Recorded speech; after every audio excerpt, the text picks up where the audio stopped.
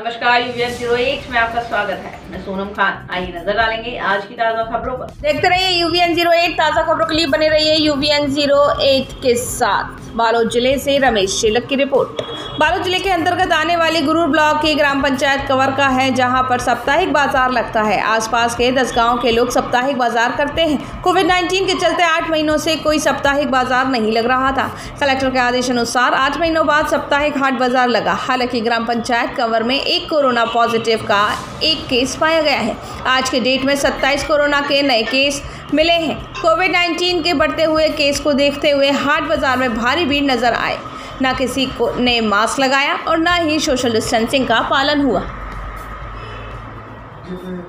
हुआ